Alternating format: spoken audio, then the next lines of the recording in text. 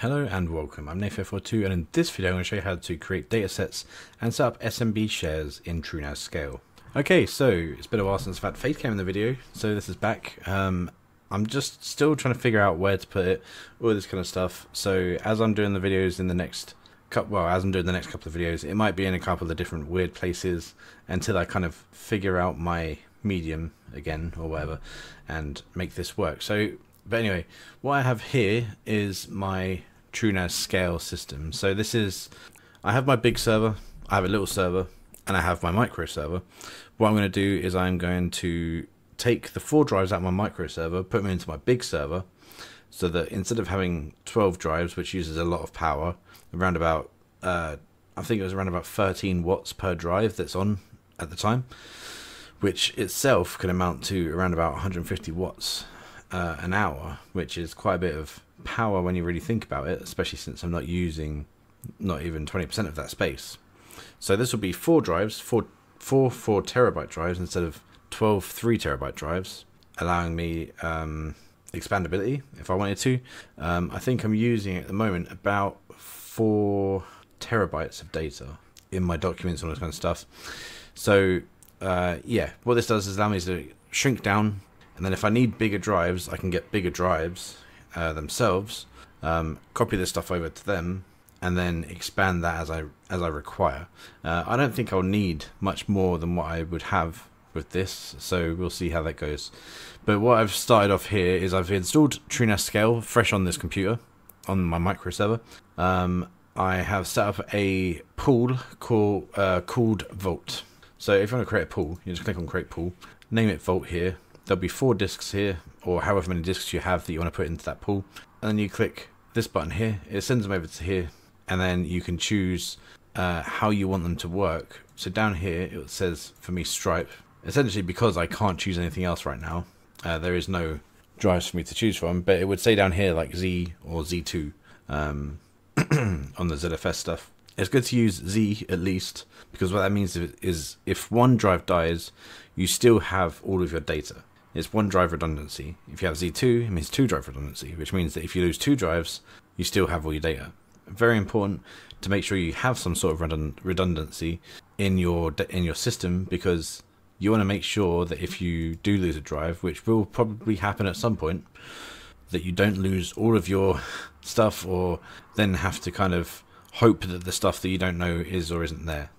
Essentially, you know, you know what backing up is anyway. Hopefully, so uh, I've done this for documents already, and then I thought I th- that's the moment I thought to myself, oh, we could probably I could probably do a video on this, and then it will help people as well doing this. So I'm gonna go here, add data set, and then we've got three more data sets that I want to do. So we'll do archive. Oh, I'm typing on the typing on the wrong computer. Archive, um, and then down here you want to go share type SMB, which means it's going to be a Samba share, or uh, there's another meaning for this as well, but I forget what it is. It'll say, please wait. It's doing the circle. Um, so, yep, there we go. Now it's created. We've got archive here. Um, so now what we can do is we can go on here and go to view permissions, press the little pencil, and then it will say here the different users and permissions and stuff that we have. You want to go over here, you go click that, go user. Oh no, that doesn't add one, does it? Oh, I didn't add it first.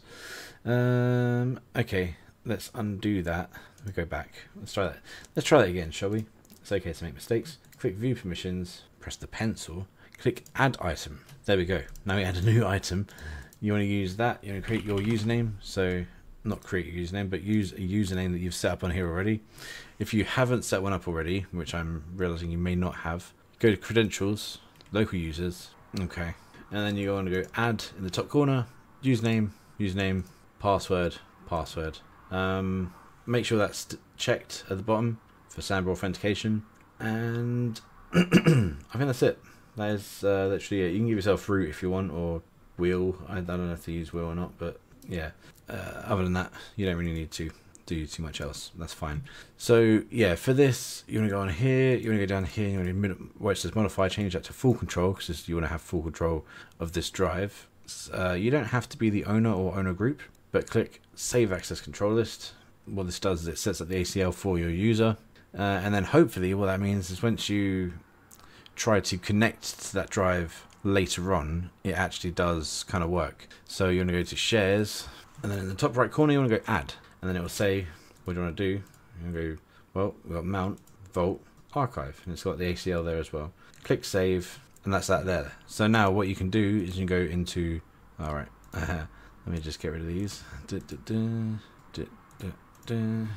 I am back on Windows at the moment as well, as you can see, um, which is fine. I've I have it's dual booting actually. It's uh, Windows and uh, Arch Linux, which is very good. That's a very nice system. There's one file missing from this, but I think that's probably okay. So on here, I've got mounted my old server. So I've got archive here. Um, yeah, so that's all the stuff in there that is in my archive. I try to keep it to a sort of to some sort of degree um, good or proper, but it doesn't always end up that way. So you're gonna go do do 10 42 42, and then you do the IP address of the other server, which you can see up here under the title is 4242.127, another backslash, and then you can do archive, enter, and now I'm in there. So if you haven't already logged into this server in particular, it will ask you your username and credentials. Use the username that you set up just now under credentials and on TrueNAS, and then it should allow me to now copy and paste this over. So we'll see. I don't know if it will or not. No, I do. I do know that. And we'll see if I have actually got this all correct so far. Uh, because what it's going to do is it will start copying that stuff over. Actually, I don't want to do that because I want to move this server downstairs first so that I can focus on other stuff. So we'll do one folder at a time. We'll do one folder for now. ATM6, all the mods. 6, if anyone cares to look into what that is. It's a Minecraft server that I've had from a long time ago. And it's copying, which means that I have permission on this drive to at least write stuff to it. Uh, we can test delete permission by creating a folder and then deleting that folder. There we go. Now we have full permission permission to this drive as you'd expect. So what else we can do? Obviously, we'll do this another two times for the other two drives that I want to create. Uh, and you want to do it, you know, it needs to be under Vault because Vault is the drives, uh, it is the data set. So you can also in here, I mean, I've never done it before. You can set up quotas for people uh, if you if they're on your network and you, want people to have certain amount of space on your drives. You can set them up so that they have less or more space. Software. So we want to create one called software. So we change that to SMB you can go advanced and then if you want to do quotas you got this little bit here and you can say quota warning alerts all this kind of stuff um, yeah it's even got ACL type here so I guess maybe maybe if you set the ACL type to inherit and you set up ACL on the actual drive itself maybe it would inherit the permissions for SMB for Nath042 on there but I don't actually know. I've not tried that. And I, I think doing it this way is better anyway because it means that you don't have every drive with that permission. Just in case you don't want every drive to have that permission you might not want that. Um, so uh, yeah what we've got? We've got archive documents software and what's my other drive? Media. Right media. Create that drive. Now obviously as well there is encryption here. You can choose to compress it more. You can choose um, to encrypt it more as well. Um, and the really good thing about TrueNAS scale is that when it um so on here in memory you'll probably see that the ZFS cache is quite large right now, which it is. It's using half of the space available. Now this drive, this computer only has um, eight gigabytes of space. It needs, uh, well, the server itself needs ECC memory. You don't have to have that for TrueNAS scale, but I think it is recommended to have ECC and or ECC registered, not and or, or ECC registered um, RAM for it to make sure that it is all good when it comes to this kind of thing, uh, and that keeps the ZFS cache more stable, most likely. Um, so, it, but it does have still a free amount of space on there, and it isn't actually doing so bad in the in terms of heat and all this kind of stuff. Um, so the yeah, the services. I'm not going to set any services up on this one either because this is literally just to take all of my drive drive stuff in so these four bits here will be populated with the data from my other server because it's a like for like. If you see on, uh, where would it be? TNS. So this is my other server, this is my main server. So this has 64 gigabytes of RAM and it's using a lot of the ZFS cache as well at the moment because it's trying to drive all this stuff across. Um, as you can see, I've used 18% of the space on this machine. Uh, so what I want to do is I want to import the pool from this micro server into the big server. So yeah, I use just under, just shy of four terabytes of, of space. I've got 17 terabytes free, which is loads of space. Like, if I need to expand in the future, I've got four, uh, 12 drives here that I can just throw in and get any kind of extra space that I require. Now, there is other stuff in here. There's test drive, which is for virtualizers bits on here. But what I will do on the server that I'm moving to is actually um, set up Proxmox. So the server will be one server because at the moment I have two servers that are fully operational all the time in my house. That draws a lot of power. So what I do is I'm going to cut down to one server with four drives, which will instead of 12. So that's going to cut the power a lot anyway. It's got one CPU and I've got a spare CPU for that, just in case um, I need extra power. If I do, I can put that CPU in and you know double the amount of processing power that I have. I've got four sticks of RAM in there at uh, 16 gigabytes each, which gives me 64 gigabytes of RAM. So that should also aid any download or whatever speed because obviously it goes into the ZFS cache instead of just um, instead of getting wasted. Um, and obviously RAM is much faster than hard drives. It's essentially it's kind of it's even faster than NVMe drives, to be fair. So, I mean, that's a good way of storing this kind of data.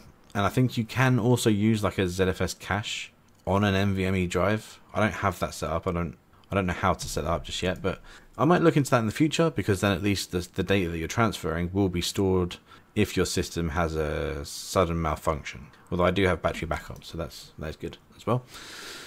Um, but that's enough rambling for that. Um, yeah, so this one, most likely I didn't set up correctly anyway, but all I'll have to do is take the, all the 12 drives out of this one, um, and you can do that just by clicking on here and then going, no, it's here.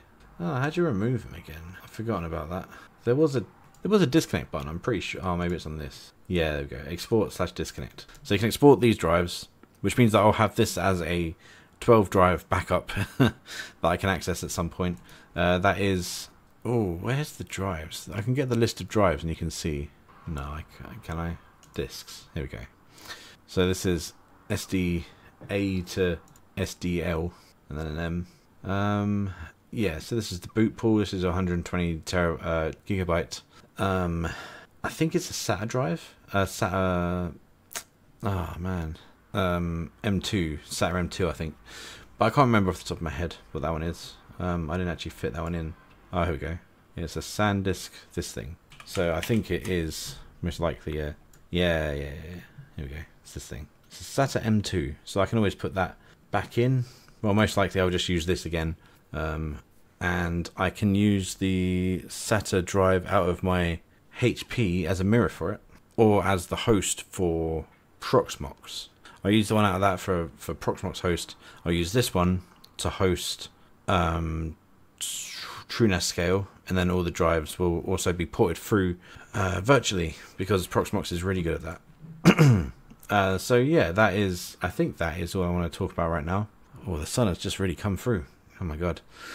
Uh, and yeah, I mean, in, in, here you can see all smart test results and that kind of stuff as well. It's really cool.